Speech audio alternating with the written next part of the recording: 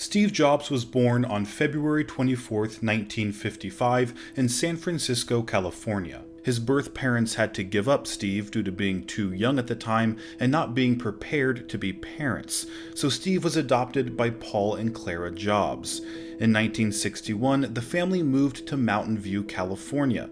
This area, just south of Palo Alto, was becoming the hub for electronics such as radios, televisions, stereos, and computers. At that time, people started to refer to the area as Silicon Valley. Paul Jobs was a machinist and fixed cars as a hobby. Jobs remembers his father as being very skilled at working with his hands. Paul built a workbench in his garage for his son to pass along his love of mechanics. Steve often found it difficult in making friends his own age and struggled to function in a traditional classroom. He resisted authority figures, frequently misbehaved, and was even suspended a few times. Jobs later said himself he was pretty bored in school and had turned into a little terror. He regularly played pranks on others at Monta Loma Elementary School in Mountain View, although Jobs credited his fourth grade teacher with turning him around. He said, It took her about a month to get hip to my situation. She bribed me into learning. She would say, I really want you to finish this workbook. I'll give you five bucks if you finish it. That kindled a passion in me for learning. I learned more that year than I think I learned in any other year in school. They wanted me to skip the next two years in grade school and go straight to junior high to learn a foreign language, but my parents very wisely wouldn't let it happen.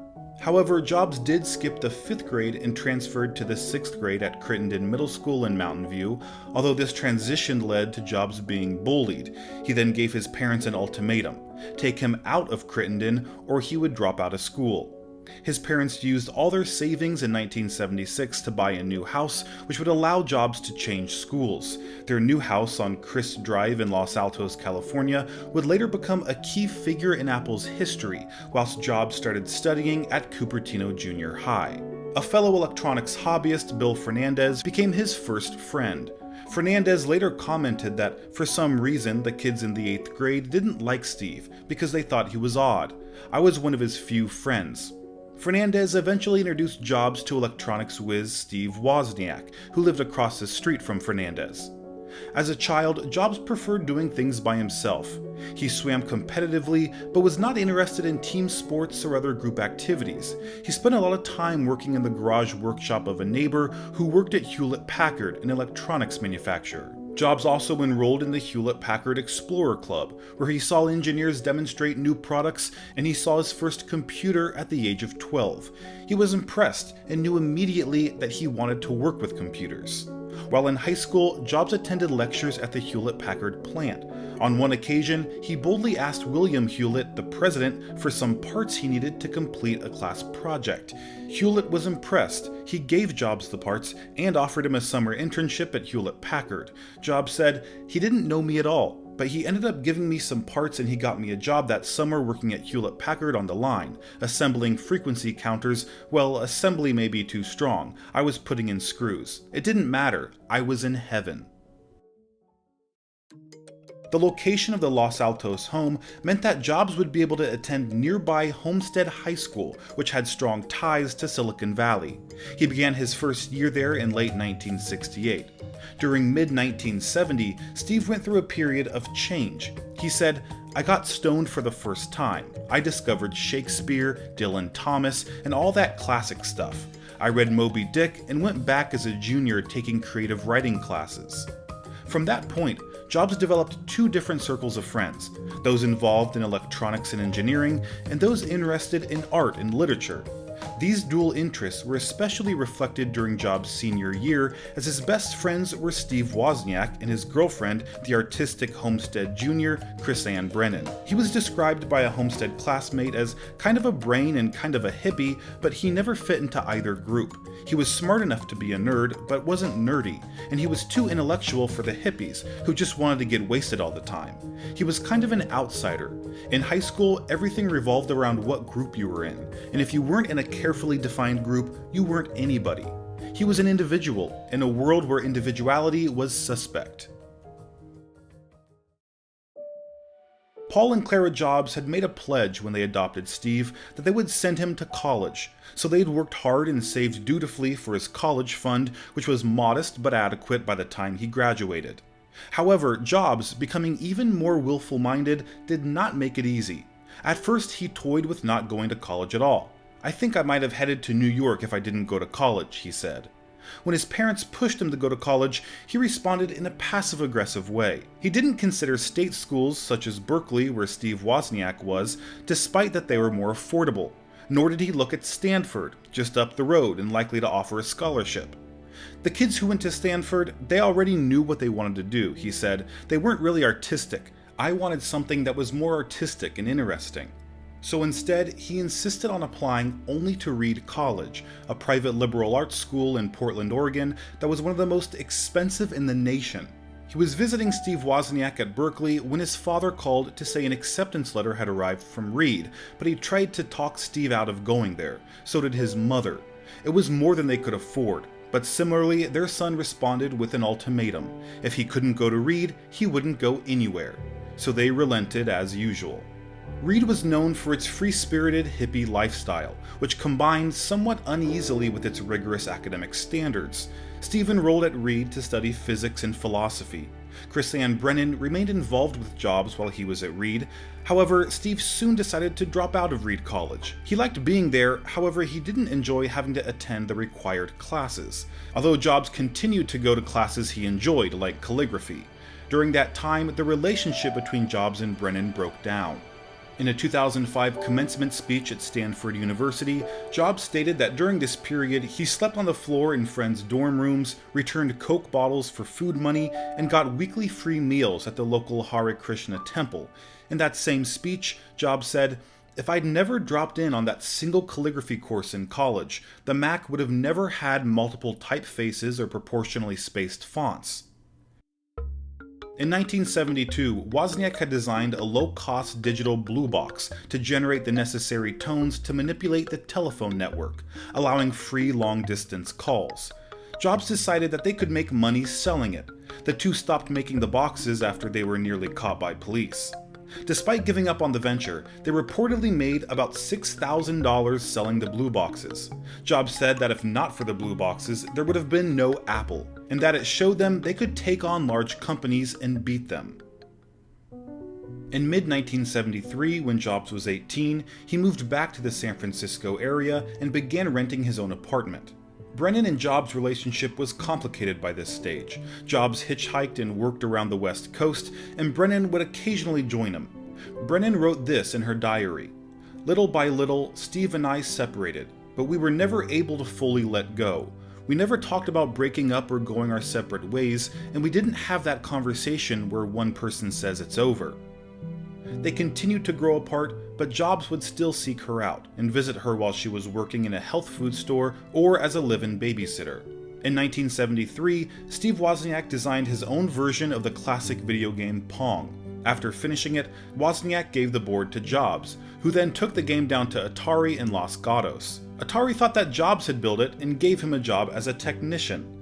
Later, Atari's co founder said, The truth is that very few companies would hire Steve, even today.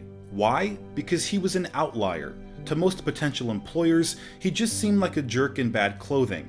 Steve was difficult but valuable. He was very often the smartest guy in the room, and he would let people know that. By early 1974, Jobs was living what Brennan describes as a simple life in a Los Gatos cabin, working at Atari and saving money for his impending trip to India. One of his friends had been to India and was urging Jobs to take his spiritual journey there too. He ended up reaching the foothills of Himalaya after days of traveling by train and bus. That's where he was supposed to see Neem Karoli Baba, but by the time Jobs got there, the guru had passed away.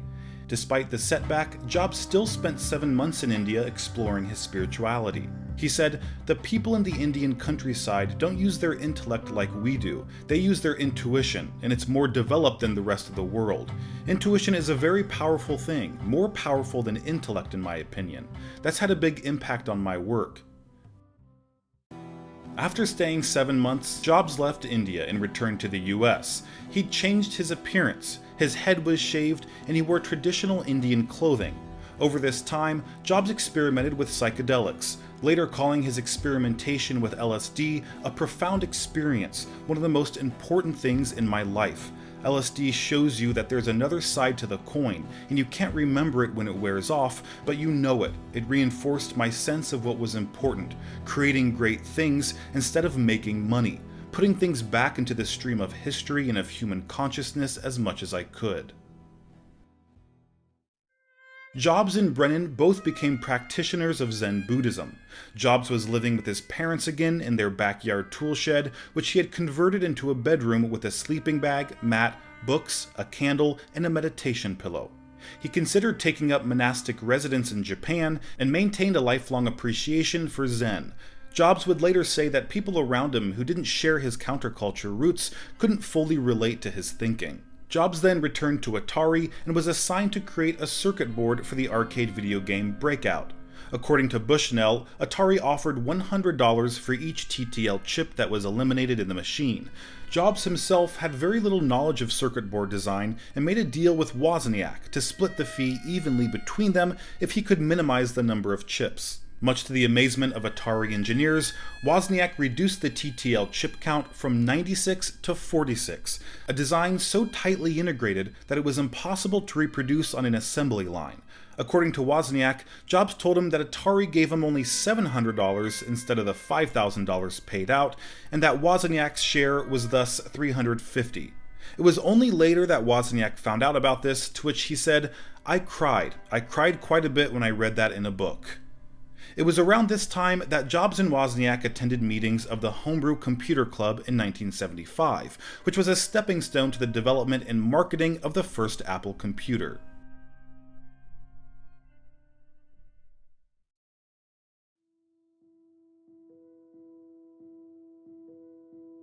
In 1976, Wozniak designed and developed the Apple I computer and showed it to Jobs, who suggested they sell it.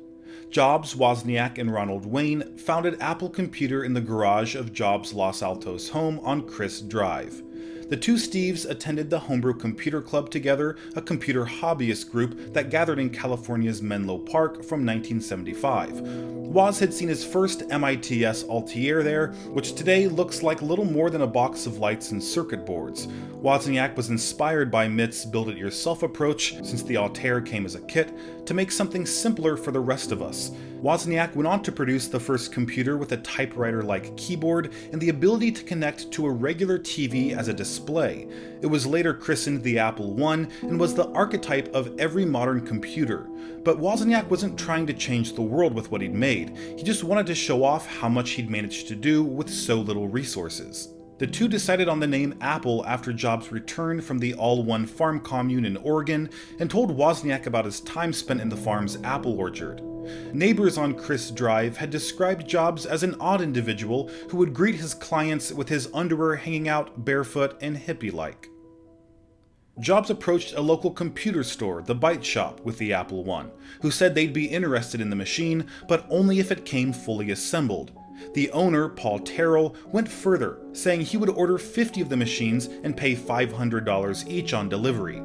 Jobs then took the purchase order that he'd been given from the Byte Shop to Cramer Electronics, a national electronic parts distributor, and ordered the components he needed to assemble the Apple I computer. The local credit manager asked Jobs how he was going to pay for the parts. Jobs explained about his purchase order from the Byte Shop, which was cash on delivery. Jobs persuaded Cramer Electronics to give him the parts on credit and would pay him once he delivered the computers. Family and friends were roped in to sit at a kitchen table and help solder the parts, and once they'd been tested, Jobs drove them over to the Byte Shop.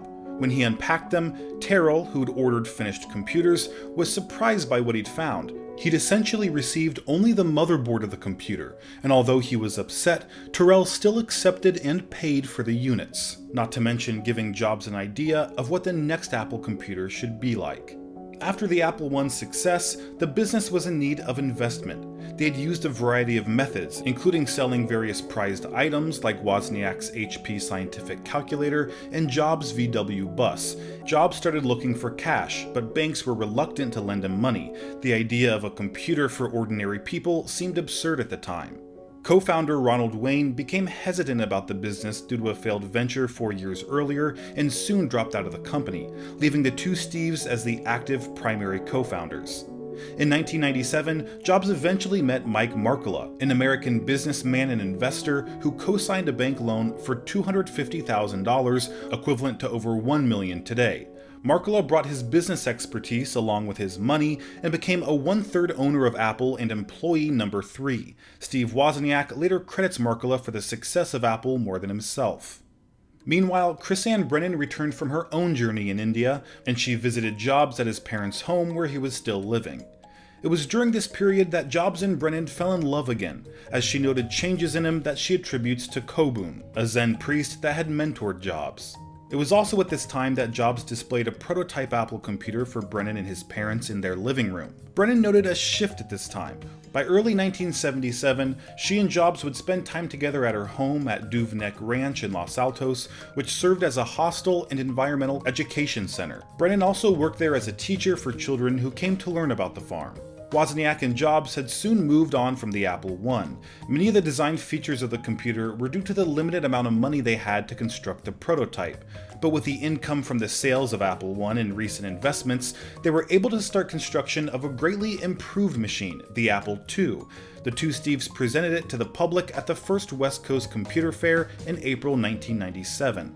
The main difference internally was a completely redesigned TV interface, which held the display in memory.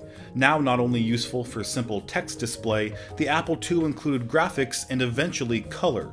Meanwhile, Jobs pressed for a much improved case and keyboard with the idea that the machine should be complete and ready to run out of the box. Jobs usually went to work wearing a black long sleeve mock turtleneck, blue Levi jeans, and New Balance 991 sneakers. He said his choice was inspired by that of Stuart Geman, a noted applied mathematics professor at Brown University. Jobs liked the idea of having a uniform for its daily convenience and maintaining a signature style. As Jobs became more successful with his new company, his relationship with Brennan grew more complex. In 1997, the success of Apple was now part of their relationship, while Brennan and Jobs moved into a house near the Apple office in Cupertino. Brennan eventually took a position in the shipping department at Apple. The relationship between Brennan and Jobs was deteriorating as his position with Apple grew, and she began to consider ending the relationship through small changes. In October 1997, Brennan was approached by Rod Holt, who was Apple's fifth employee and developed the unique power supply for the Apple II, who asked her to take a paid apprenticeship designing blueprints for the Apples. Both Holt and Jobs felt that it would be a good position for her, given her artistic abilities. Holt was particularly eager that she take the position and puzzled over her ambivalence toward it. Brennan's decision, however, was overshadowed by the fact that she realized she was pregnant and that Jobs was the father. It took her a few days to tell Jobs, whose face, according to Brennan, turned ugly at the news. At the same time, according to Brennan, at the beginning of her third trimester, Jobs never wanted to ask her to get an abortion. But he also refused to discuss the pregnancy with her. Brennan herself was confused about what to do. She didn't feel comfortable with the idea of having an abortion, and she chose to discuss the matter with Kobun, who encouraged her to keep the baby and pledged his support. Meanwhile, Holt was waiting for her decision on the internship. Brennan stated that Jobs continued to encourage her to take the job by saying, Be pregnant and work at Apple. You can take the job. I don't get what the problem is. Brennan, however, notes that she felt so ashamed at the thought of having a growing belly in a professional work environment with the child being Jobs. Brennan turned down the internship and decided to leave Apple altogether. She stated that Jobs told her, If you give up this baby for adoption, you'll be sorry, and I'm never going to help you. She would sometimes ask Jobs for money, but he always refused. Brennan hid her pregnancy for as long as she could, living in a variety of homes and continuing her work with Zen meditation. At the same time, according to Brennan, Jobs started to spread rumors that she'd slept around and couldn't conceive a child as he was infertile. A few weeks before she was due to give birth, Brennan was invited to deliver her baby at the All One farm and she accepted the offer. When Jobs was 23 years old, the same age as his biological parents when they had him, Brennan gave birth to her baby, Lisa Brennan, on May 17, 1978. Jobs went there for the birth after he was contacted by Robert Friedland, their mutual friend and the farm owner. While distant, Jobs worked with her on a name for the baby, which they discussed while sitting in the fields on a blanket. Brennan suggested the name Lisa, which Jobs also liked, and notes that Jobs was very attached to the name Lisa while he was also publicly denying paternity. She would discover later that during this time, Jobs was preparing to unveil a new kind of computer that he wanted to give a female name. She also stated that she never gave him permission to use the baby's name for a computer and that he hid the plans from her. Jobs also worked with his team to come up with the phrase local integrated software architecture as an alternative explanation for the Apple Lisa. Decades later, however, Jobs admitted to his biographer Walter Isaacson that, obviously, it was named after my daughter. When Jobs denied paternity, a DNA test established him as Lisa's father. It required him to give Brennan $385 a month, in addition to returning the welfare money she had received. Jobs gave her $500 a month at the time when Apple went public, as Jobs became a millionaire. On December 12, 1980, Apple launched the initial public offering of its stock to the investing public. It generated more capital than any IPO since Ford Motor Company in 1956 and instantly created more millionaires, about 300, than any company in history. Several venture capitalists cashed out, reaping billions in long term capital gains. Jobs was worth over $1 million in 1978 when he was just 23 years old. This grew to over 250 million by the time he was 25. He was also one of the youngest people to ever make the Forbes list of the nation's richest people, and one of the only handful to have done it themselves, without inherited wealth. While the Apple II was already established as a successful business ready platform because of VisiCalc, Apple was not content. The Apple III was designed to take on the business environment, released on May 19, 1980. The Apple III was a relatively conservative design for computers of the era. However, Steve Jobs didn't want it to have a fan. Instead, he wanted the heat generated by the electronics to be dissipated through the chassis of the machine, foregoing the cooling fan. However, the physical design of the case was not sufficient to cool the components inside it. By removing the fan from the design, the Apple III was prone to overheating. This caused the integrated circuit chips to disconnect from the motherboard. Customers who contacted Apple customer service were told to raise the computer 6 inches in the air and then let go, which would cause the ICs to fall back into place. Thousands of Apple III computers were recalled. A new model was introduced in 1983 to try and rectify the problems, but the damage was already done.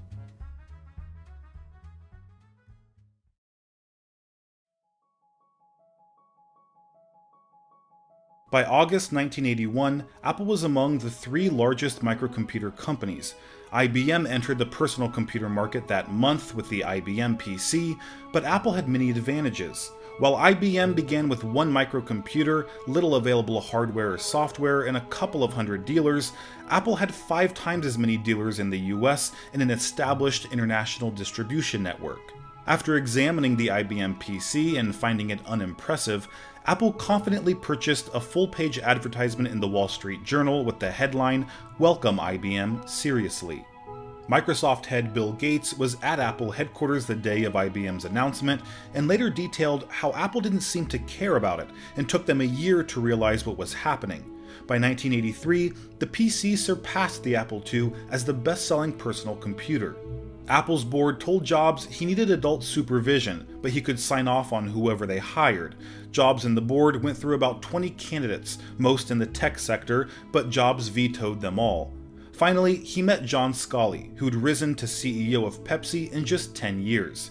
He also had a reputation for being a marketing master, having helped create the Pepsi Challenge campaign that sparked the so called Cola Wars of the 1970s. Jobs lured John Sculley away from Pepsi Cola to serve as Apple's CEO, asking, Do you want to spend the rest of your life selling sugared water, or do you want a chance to change the world? Apple Computer's business division was focused on the Apple III, a failing iteration of the text based computer. Simultaneously, the Lisa Group worked on a new machine that would feature a completely different interface and introduce the words mouse, icon, and desktop into the vocabulary of the computing public. In return for the right to buy $1 million of pre IPO stock, Xerox granted Apple Computer three days access to the PARC facilities. PARC was a sub research and development company. After visiting PARC, they came away with new ideas that would complete the foundation for Apple's first graphical user interface computer. By 1984, Apple had proved twice over that it was a force to be reckoned with. It had taken on IBM, the biggest name in business computing, and acquitted itself admirably. The Apple I and II were resounding successes, but while the Apple III and Lisa had been remarkable failures, Apple needed another hit both to guarantee its future and to target the lower end of the market, which to date it had regularly ignored. That hit was the Macintosh, the machine that largely guaranteed the company's future. We'll always remember Steve Jobs as the man who launched the Macintosh, but he only arrived on the project in 1981, two years after Jeff Raskin had started work on the low cost computer for home and business use. Jobs quickly stamped his mark on it, and Raskin left in 1982 before the product shipped. We have to give Raskin credit for the original idea and its name, his favorite type of Apple was the Macintosh, but otherwise the machine that eventually launched was a fair way away from the one he'd originally envisioned. Raskin's early prototypes had text-based displays and used function keys in place of the mouse for executing common tasks. Raskin later endorsed the mouse, but with more than the single button that shipped with the Macintosh. It was Jobs and Bud Tribble, the latter of whom is still at Apple, that really pushed the team to implement the graphical user interface for which it became famous. They saw the potential of the GUI's desktop metaphorical based design, and they'd already laid much of the groundwork for Apple's own take on the system as part of the Lisa project. Tribble tasked the Macintosh team with doing the same for their own machine, which, in hindsight, may have been the most important directive ever issued by anyone inside Apple. If the Macintosh team had continued down the text and keyboard path, it's unlikely their product would have sold as well as it did, and Apple, as we know it, might not have existed at all. In early 1984, at Apple's annual shareholders meeting, an emotional Jobs introduced the Macintosh to a wildly enthusiastic audience. Nobody would ever deny that the original Macintosh was a work of genius. It was small, relatively inexpensive, and friendly. It brought the GUI to a mass audience and gave us all the tools we could ever need for producing graphics-rich work that would have cost many times as much on any other platform. Yet, right from the start, it was in danger of disappointing us. You see, Apple had built it up to be something quite astounding. It was going to change the computing world, we were told, as the launch day approached.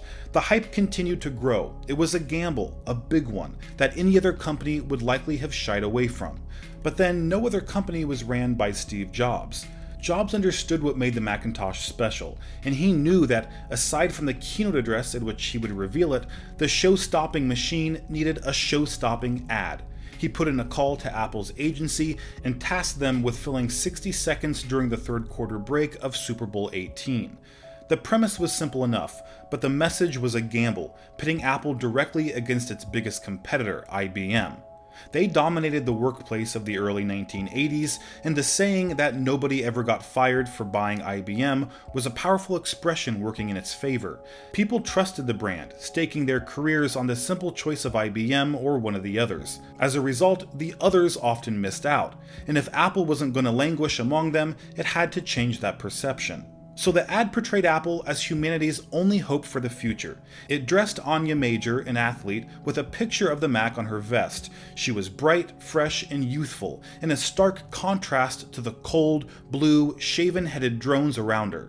They were brainwashed by Big Brother, who lectured them through an enormous screen, but Major hurled a hammer through the screen to destroy the evil talking head. Even without the tagline, the inference would have been clear, but Jobs and CEO John Sculley agreed to add the memorable line On January 24th, Apple Computer will introduce Macintosh, and you'll see why 1984 won't be like 1984. Two days after the 1984 ad aired, the Macintosh went on sale. It came bundled with two applications designed to show off its interface MacWrite and MacPaint. Although the Mac garnered an immediate enthusiastic following, it was too radical for some, who labeled it as a mere toy. Because the machine was entirely designed around the graphical user interface, existing text mode and command driven applications had to be redesigned, and the programming code rewritten. This was a challenging undertaking that many software developers shied away from, and resulted in an initial lack of software for the new system. It had all been good news for Apple so far. The company was still young, but going from strength to strength, and it offered some serious competition for its larger, longer established rivals. Sculley and Jobs' management styles were wildly different though, and it's perhaps inevitable that this led to some conflicts between the two men. Sculley didn't like the way that Jobs treated other staff members, and the two came to blows over more practical matters, including the price of the Macintosh. From the moment of its inception, the Macintosh was always supposed to be a computer for the rest of us, keenly priced so that it would sell in large numbers. The aim was to put out a $1,000 machine, but over years of development, as the project became more ambitious, this almost doubled. Shortly before its launch, it was slated to go on sale at $2,000, but Sculley could see that even this wasn't enough and he decreed that it would have to be hiked by another 500. Jobs disagreed, but Sculley prevailed and the Macintosh hit shelves at $2,500. That was just the start of the friction between the two men, which wasn't helped by a downturn in the company's fortunes. Sales of the Macintosh started to tail off, the Lisa was discontinued, and Jobs didn't hide the fact that his initial respect for Sculley had cooled. The board urged Sculley to rein Jobs in, and that's exactly what he did, but not until March 1985, just shy of two years after arriving at the company. Sculley visited Jobs in his office and told him that he was taking away his responsibility for running the Macintosh team. Talking to the BBC in 2012, Sculley said, What went on inside the company at the time, when the Macintosh office was introduced in 1985 and failed, Steve went into a very deep funk. He was depressed, and he and I had a major disagreement on where he wanted to cut the price of the Macintosh, and I wanted to focus on the Apple II because we were a public company.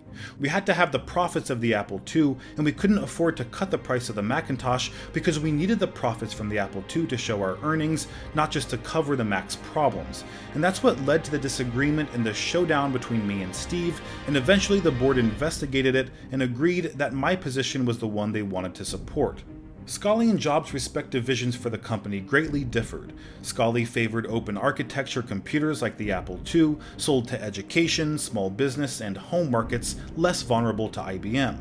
Jobs wanted the company to focus on the closed architecture Macintosh as a business alternative to the IBM PC. Sculley had little control over chairman of the board Jobs' Macintosh division. It and the Apple II division operated like separate companies, duplicating services. Although its products provided 85% of Apple's sales in 1985, the company's January 1985 annual meeting did not mention the Apple II division or employees. Many left, including Wozniak, who stated that the company had been going in the wrong direction for the last five years and sold most of his stock. The Macintosh's failure to defeat the PC strengthened Sculley's position in the company, but Jobs wasn't ready to go without a fight. Sculley had to leave the country on business that May, and Jobs saw this as the perfect opportunity to wrestle back control of the company. He confided in the senior members of his own team, which at the time included Jean Louis Gassée, who was being lined up to take over from Jobs on the Macintosh team. Gassée told Sculley what was happening, and Sculley cancelled his trip. The following morning, Sculley confronted Jobs in front of the whole board, asking if the rumors were true. Jobs said they were, and Sculley asked the board to choose between the two of them, him or Jobs. They sided with Sculley, and Jobs' fate was sealed. Sculley reorganized the company, installing Gassée at the head of the computer division and made Jobs Apple's chairman. That might sound like a promotion, but in reality, it was a largely ceremonial role that took the co founder away from day to day activities of running the company. A few months later, on September 17, 1985, Jobs submitted a letter of resignation to the Apple board. Five additional senior Apple employees also resigned and joined Jobs in his new venture, Next.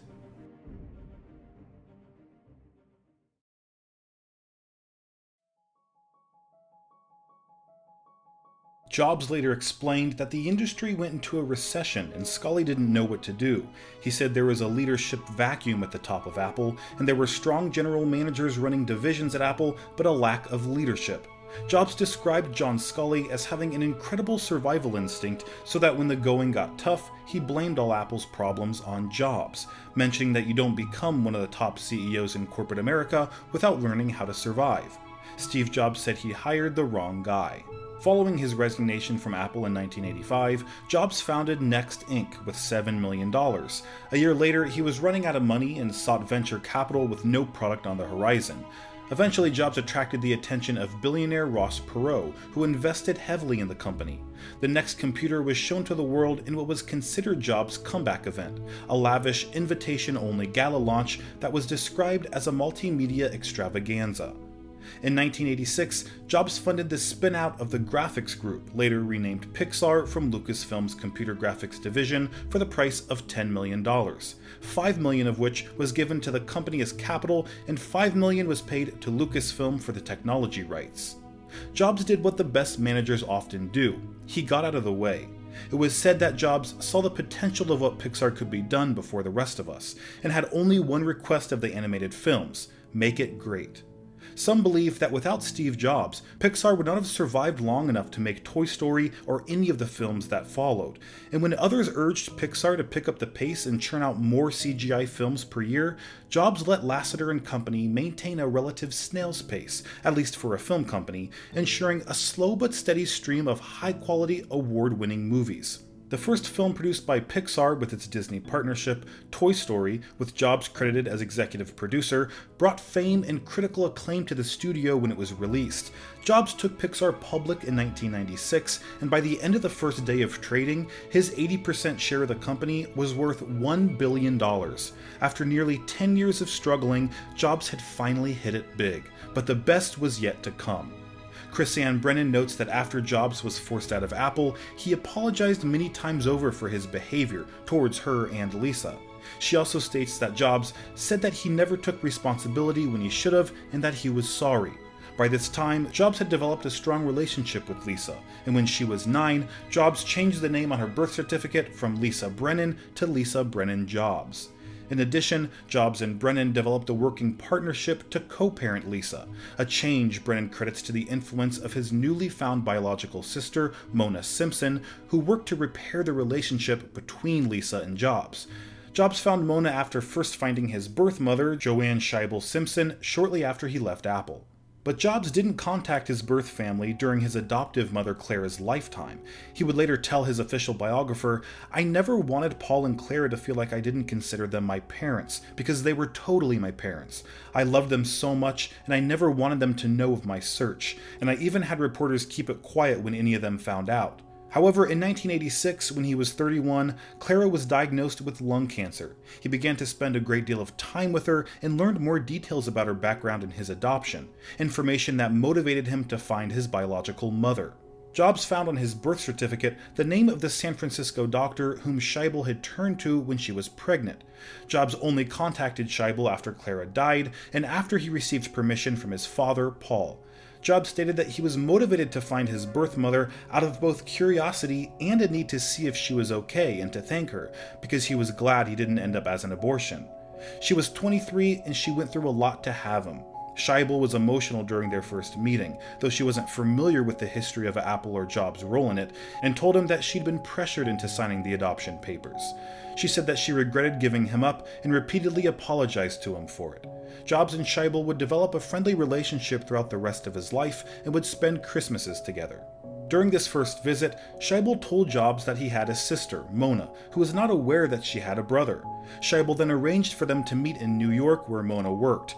Her first impression of Jobs was that he was straightforward and lovely, just a normal and sweet guy. Simpson and Jobs then went for a long walk to get to know each other. Jobs later told his biographer that Mona was not completely thrilled at first to have me in her life and have her mother so emotionally affectionate toward me, but as we got to know each other, we became really good friends, and she is my family. I don't know what I'd do without her. I can't imagine a better sister. In 1989, Jobs met his future wife, Laurene Powell, when he gave a lecture at the Stanford Graduate School of Business, where she was a student. Soon after the event, he stated that Laurene was right there in the front row in the lecture hall, and I couldn't take my eyes off her. I kept losing my train of thought and started feeling a little giddy. After the lecture, Jobs met up with her in the parking lot and invited her out to dinner. From that point forward, they were together, with a few minor exceptions, for the rest of his life. Jobs proposed on New Year's Day 1990 with a handful of freshly picked wildflowers. They married on March 18, 1991, in a Buddhist ceremony at the Ahwahnee Hotel in Yosemite National Park. 50 people, including his father Paul and his sister Mona, attended.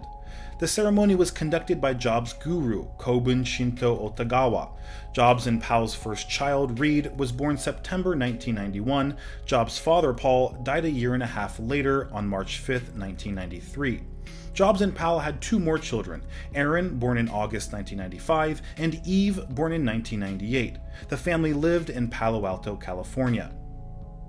Next workstations were first released in 1999 and priced at $10,000. Like the Apple Lisa, the Next was technologically advanced and designed for the education sector, but was largely dismissed as cost prohibitive for educational institutions. The Next workstation was known for its technical strengths, chief among them was its object-oriented software development system. Jobs marketed Next products to the financial, scientific, and academic community, highlighting its innovative experimental new technologies, such as the Mach kernel, the digital signal processor chip, and the built-in Ethernet port. Next Computer's top priority was the education market, which had been Apple's territory for quite some time. However, they did it with even more expensive hardware than Apple's. Outside of the LC line, Apple's systems were pricey in the early 1990s. Next attempted to make up for this by aiming its sales teams at higher education, selling not mere computers, but workstations. After the 1990 hardware didn't sell well, Next stopped manufacturing computers in 1993 and became a software-only vendor, selling NextStep as a combination operating system and object-oriented development environment. NextStep for Intel became a popular product among large companies and especially financial institutions for rapidly developing and deploying custom software. Meanwhile, at Apple, the future wasn't looking so bright. Despite initially being quite successful in chasing high profits with wide margins, its market was starting to shrink, and with it, so did its income. For the first time in the company's history, its year end results showed its cash balances to be rising more slowly than they had the year before. That wasn't its only problem, though.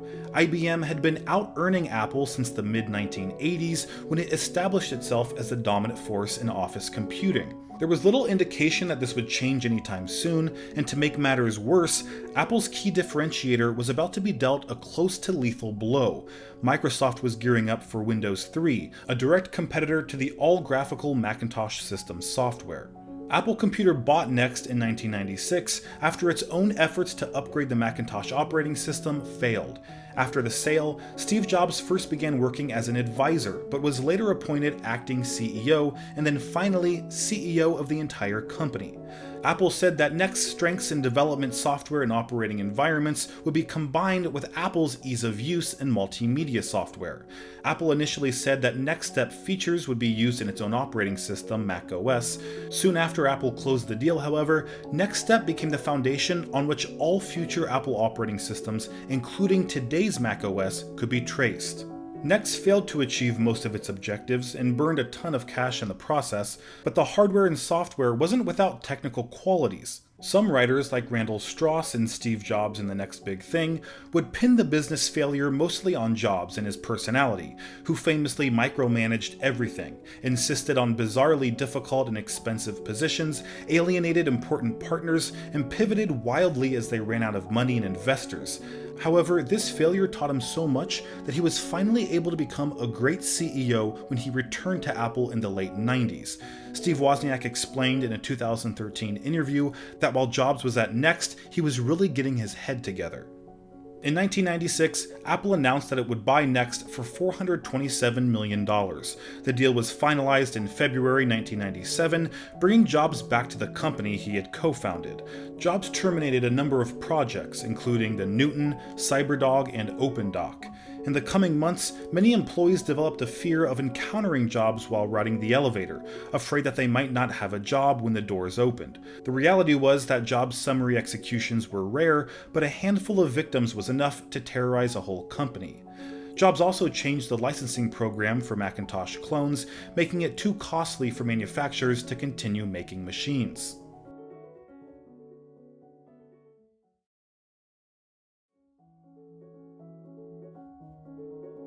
When Jobs returned, the company wasn't in very good condition. Apple had begun to flounder as cheap PCs running Windows flooded the market. Jobs found himself in the driver's seat again and took some drastic steps to turn the company around. Jobs summoned Apple's top employees to the auditorium and, wearing shorts and sneakers, got up on stage and asked everyone to tell him, quote, what's wrong with this place. After some murmurings and uncertain responses, Jobs cut everyone off. He said, It's the products. So what's wrong with the products? The products suck. There's no sex in them anymore. And that's because while Jobs was away, Apple started to lose their iconic identity, which was a trademark of Steve Jobs' influence. Prices went up, and Macs suddenly stopped selling. The product line proliferated and became so fragmented that it was impossible to tell the difference between models. This not only confused customers, but also sales associates, and Apple's image was damaged in the process. Jobs started making steps to put back in place the Apple he had originally built. This started at the 1997 Macworld Expo. Steve Jobs announced that Apple would be entering into a partnership with Microsoft. Included in this was a five year commitment from Microsoft to release Office for Macintosh, as well as a $150 million investment, as well as Apple and Microsoft agreeing to settle a long standing dispute over whether Microsoft Windows operating system infringed on any of Apple's patents. Jobs used the money to ramp up advertising and highlight the products Apple already offered while choking off R&D money into non-producing areas. One of Jobs' first moves as new acting CEO was to develop the iMac, which bought Apple time to restructure. The original iMac integrated a CRT display and CPU into a streamlined translucent plastic body. The line became a sales success, moving about 1 million units each year. It also helped reintroduce Apple to the media and public, and showcased the company's new emphasis on design and aesthetics. Through Jobs' guidance, the company increased sales significantly with the introduction of the iMac and other new products.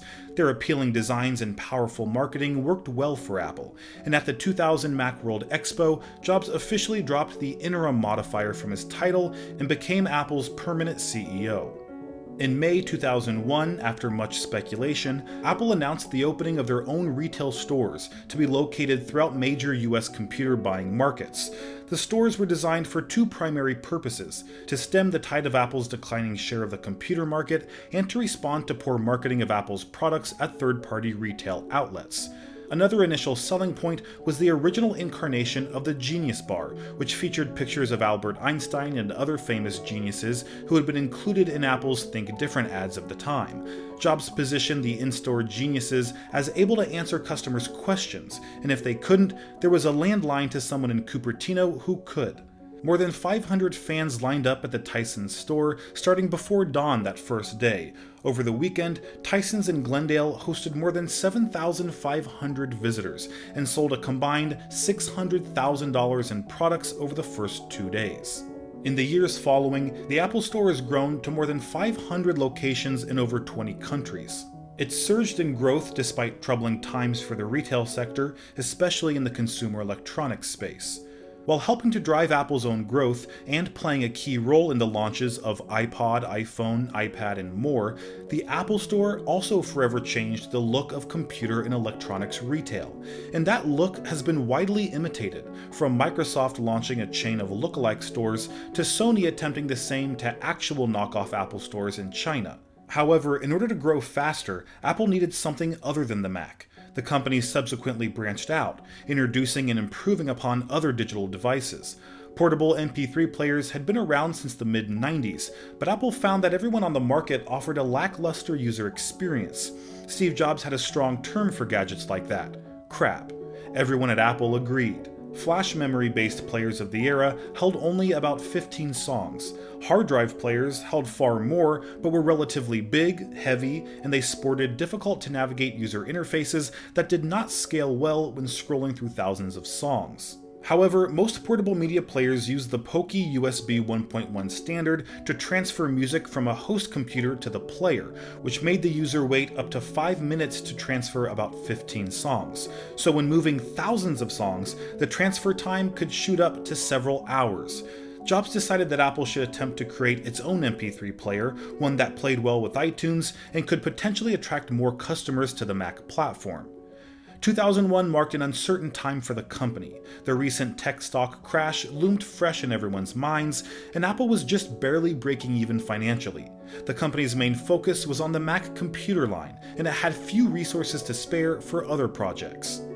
Due to this, the iPod had to be finished quickly so Apple wouldn't shut down the project. Product lead Tony Fadell also felt that competitors would beat Apple to the market with a similar device if Apple didn't work as fast as it could.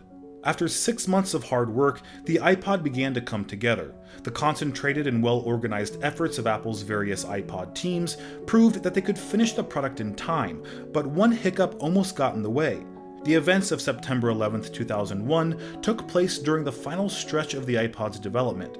As the attacks unfolded, an Apple team carrying key iPod prototypes from Taiwan landed on US soil, just before the US government shut down air travel nationwide. The iPod prototypes made it in time. The first iPod shipped in November 2001, and to date, Apple has sold more than 304 million units across four different models. With the successful introduction of the iPod, the company entered the mobile device and music distribution industries, giving an enormous boost to Apple's revenue. In 2003, Apple launched the iTunes Music Store with 200,000 songs sold at 99 cents each, giving people a convenient way to buy digital music legally. It sold 1 million songs in its first week, and music expert Mark Mulligan described Jobs as single handedly pulling the music industry into the digital age. Before Apple launched iTunes, Jobs had met with dozens of musicians in the hopes of corralling record labels into going along with the iTunes plan. One of the people Jobs pitched to was prominent trumpet player Wynton Marsalis. Marsalis said Jobs talked for two hours straight. He was a possessed man, he said. After a while, I started looking at him and not the computer because I was so fascinated with his passion. Pitching and selling was a key part of Jobs' repertoire. He was one of the world's best presenters. His keynote speeches captivated audiences and have become a staple to the Apple brand. He didn't just announce a new Apple product, he found ways to get the audience as excited as possible while masterfully making that Apple product the next must have item. Jobs' passion shone through each and every presentation, which resonated with the audience. He was both admired and criticized for his skill at persuasion and salesmanship, which has been dubbed the reality distortion field, and was particularly evident during his keynote speeches, colloquially known as Steve Notes, at Macworld Expos and at Apple Worldwide Developer Conferences. However, in October 2003, Jobs was diagnosed with cancer. In mid 2004, he announced to his employees that he had a cancerous tumor in his pancreas. The prognosis for pancreatic cancer is usually very poor, but Jobs stated that he had a rare, much less aggressive type. Despite his diagnosis, Jobs resisted his doctor's recommendations for medical intervention for nine months, instead, relying on an alternative medicine to thwart the disease. According to Harvard researcher Ramzi Amri, his choice of alternative treatment led to an unnecessarily early death. Other doctors agree that Jobs' diet was insufficient to address his disease, with Kettering Cancer Center chief Barrie Cassileth saying, Jobs' faith in alternative medicine likely cost him his life. He had the only kind of pancreatic cancer that's treatable and curable. He essentially committed suicide. According to Jobs' biographer Walter Isaacson, he refused to undergo surgery for his cancer because, quote, he didn't want his body being opened, a decision Jobs later regretted as his health declined. It was around this time in 2005, a year after he was first diagnosed with cancer, that Jobs made a candid speech to graduating students at Stanford University. This speech is known as one of the best Jobs has ever delivered. He talked about his love for what he did and the importance of staying hungry, staying foolish. He also reflects on the hardest moment of his life, leaving Apple in 1985. He explains that he didn't see it at the time, but it ended up being the best thing that could have happened to him.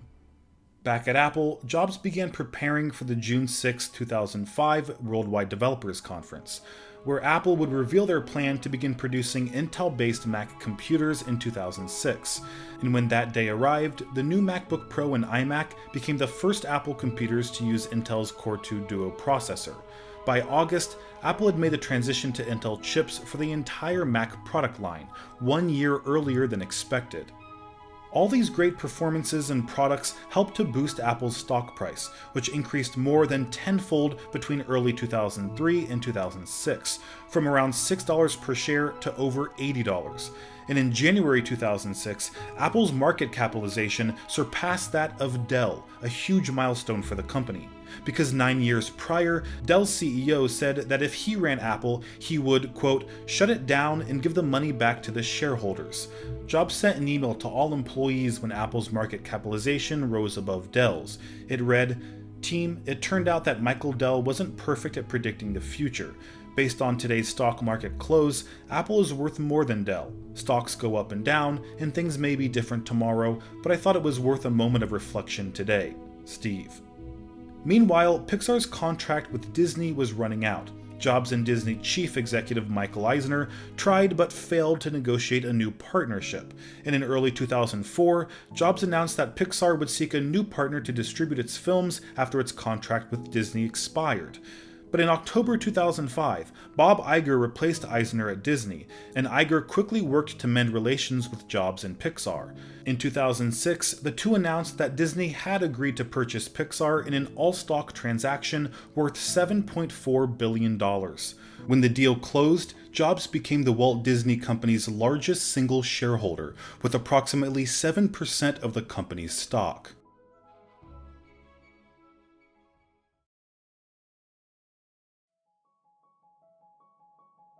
In January 2007, Apple entered the smartphone business with the introduction of the iPhone. It included a touch display, all the features of an iPod, and an internet browser. It was a complete rebuke of the entire smartphone market, which had been fixated on adding more buttons, more features, and more styluses. But all those things came at the detriment of the user experience. That's why Steve Jobs used this graph while introducing the iPhone. The Moto Q, Nokia E62, and Palm Treo were more capable than the average cell phone, but those extra features added complexity. The iPhone set out to deliver the best of both worlds, the most feature-filled phone ever while also being the easiest to use. And it all started by eliminating what Steve Jobs had loathed throughout his entire career, buttons. The iPhone had a huge multi-touch display with only one button. That way, the interface could change depending on which app was being used, an approach that had worked well on computers for decades. There was also pinch to zoom, physics based effects like inertial scrolling and rubber banding, and multitasking that allowed users to seamlessly switch from music to phone calls to web browsing to email and back. The first generation iPhone may be considered primitive by today's standards with its 2 megapixel camera, small display, and thick frame, but the original iPhone single handedly began the modern smartphone era, with nearly all of today's devices borrowing its design and functionality elements. On June 28, 2007, the iPhone finally went on sale after five months of anticipation, and the excitement resulted in lines forming outside Apple stores across the country two days before the product's release. The iPhone was nothing short of a success, with a quarter of a million units being sold on its first day. Smartphone makers went back to the drawing board to develop multi touch devices that could compete, and Apple went back to work on their next model, the iPhone 3G. In January 2009, Jobs issued a memo informing Apple employees where he admitted, quote, that my health related issues are more complex than I originally thought. And he took a six month medical leave of absence, leaving Tim Cook in charge of Apple's day to day operation, as he did in 2004. At this point, Jobs finally agreed to undergo a liver transplant, and by mere coincidence, Tim Cook happened to be an eligible donor since he shared Jobs' O negative blood type. But when Cook offered a portion of his liver, Jobs cut him off, yelling, No, I'll never let you do that. I'll never do that. Instead, he was put on a waiting list in Tennessee, where he had the best chance of receiving a liver transplant as quickly as possible. And that's exactly what happened in April 2009. Post surgery, Jobs' prognosis was described as excellent, and he returned to Apple six weeks later on a part time basis. The first public appearance Jobs made after his surgery was at an Apple event in September 2009. When he walked on stage, Jobs was met with a standing ovation that lasted almost a minute long. It was during this event that he unveiled the iPad, a product that was actually conceived before the iPhone but was shelved due to the smartphone project taking priority. The idea of a tablet in particular appealed to Jobs, mainly because of its simplicity and portability. There was no keyboard or mouse needed, just a sheet of glass that displayed anything you wanted. In fact, Jobs called the iPad, quote, the most important thing I've ever done, probably due to its potential to replace traditional computers and usher in what's been called the post PC era. Rumors of an Apple tablet circulated for many months before iPad was unveiled, and people speculated what its operating system might look like. After all, the Mac, iPod, and iPhone all featured their own operating systems optimized for the display and processing power of each product, so why would the iPad be any different? The logic made sense, but Jobs saw things differently. In his view, the iPad should run the same operating system as the iPhone, while featuring tablet versions of apps that took advantage of its larger display. So when the iPad was finally introduced on January 27, 2010, many people were disappointed, posting comments like, it's a giant iPhone, not revolutionary at all. Just an oversized iPod Touch, this will not sell well, no need for this device. No chance of running OS 10 software, biggest disappointment if you ask me, and worthless for someone who owns an iPhone already. Here's your big iPod, really. No USB, no printing, nothing. These feelings were commonly shared in the tech community, and it had a negative effect on Jobs. He said, I got kinda depressed today, it knocks you back a bit. But luckily for Apple, people outside the tech world were loving iPad. It received high praise from well known reviewers like David Pogue and Walt Mossberg, and most importantly, customers were buying it like crazy. 1 million units were sold in its first 28 days, which is pretty astonishing, considering that took the iPhone 74 days to achieve. And the iPad went on to become the fastest selling consumer product in history, beating out the previous record holder, the DVD player. Jobs was riding high, releasing one hit after another at Apple with no signs of slowing down. But there was one thing beginning to catch up with him his health. In early 2011, a year and a half since Jobs returned to Apple after his liver transplant, he took a third medical leave of absence. His letter to employees looked the same as it had the previous two times, and Tim Cook again took over in his stead. The only difference this time was that Jobs would never return to Apple.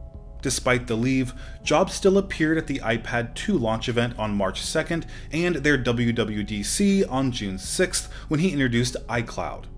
Ever since the early days of Apple, Jobs believed in creating a seamless and unified ecosystem for users, and that's why he refused to license a third party operating system for the Mac or even license Apple's own Macintosh system software to third party computer manufacturers, despite the fact that doing so would have made Apple more money and allowed their operating system to achieve a higher market share.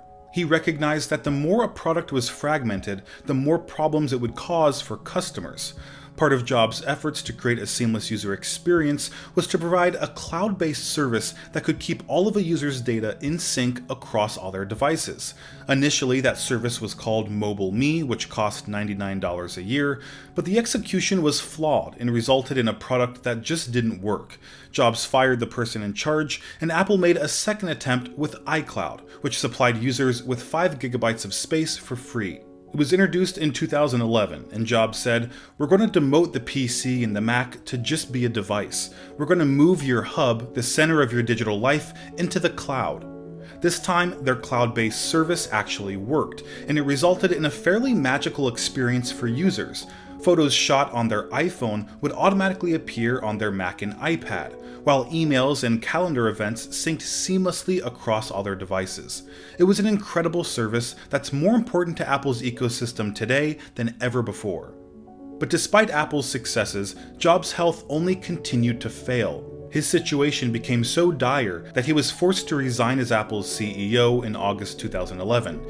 He wrote a letter to the board saying, I have always said if there ever came a day when I could no longer meet my duties and expectations as Apple's CEO, I would be the first to let you know. Unfortunately, that day has come. Jobs became chairman of Apple's board and named Tim Cook as his successor as CEO. As chairman, Jobs continued to work for Apple until the day before his death six weeks later. He passed away at his Palo Alto home around 3 p.m. on October 5th due to complications from a pancreatic tumor that resulted in respiratory arrest. His wife, children, and sisters were at his side. Mona Simpson described his death, saying, Steve's final words, hours earlier, were monosyllables, repeated three times. Before embarking, he'd looked at his sister Patty, then for a long time at his children, then at his life's partner, Laurene and then over their shoulders past them. Steve's final words were, Oh wow, oh wow, oh wow. He then lost consciousness and died several hours later. A small private funeral was held on October 7th, the details of which, out of respect for Jobs' family, were not revealed. For two weeks following his death, Apple displayed a photo of Jobs on their homepage in remembrance. On October 19th, a private memorial service was held on Apple's campus. Jobs' widow Laurene was in attendance, as well as Cook, Bill Campbell, Norah Jones, Al Gore, and Coldplay. Some of Apple's retail stores closed briefly so employees could attend the memorial. A video of the service was made available publicly on Apple's website. Jobs was one of the most innovative and influential entrepreneurs of our time. He left a legacy that'll be marveled over and studied for decades. Despite his humble beginnings, Jobs was able to build the most valuable brand in the world and revolutionize several industries. His identity was so intertwined with Apple's that when he resigned, many predicted the company's decline, claiming that they'd no longer be able to innovate without their visionary leader. But many people failed to recognize the most crucial gift Jobs left behind his philosophy. When he was forced out of the company in 1985, John Sculley didn't share Jobs' beliefs about what made a product great. But when Jobs resigned in 2011, the company had been steeped in that philosophy, and Tim Cook was perhaps the individual who understood it best. In fact, shortly before his death, Jobs told Cook, Never ask what I would do, just do what's right. Since Tim Cook took over the company in 2011, Apple's value has grown exponentially, fueled by hit products like the Apple Watch and AirPods. Even though Jobs hasn't been with the company for a decade, his philosophy lives within Apple today and will continue to exist long into the future.